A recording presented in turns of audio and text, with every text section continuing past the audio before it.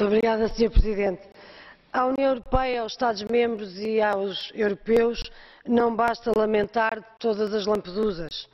Fazê-lo e insistir numa política de controle desumano das fronteiras, na penalização dos mais fracos e no reforço de uma Europa fortaleza é hipócrita e é cínico. Só mudando a política de imigração europeia se podem proteger as pessoas que arriscam as suas vidas na tentativa de aí chegar e na expectativa de encontrar proteção, abrigo, futuro e solidariedade. O que a União Europeia precisa é, por isso, ter coragem para ter uma posição solidária e de investir no combate ao tráfico e exploração de seres humanos.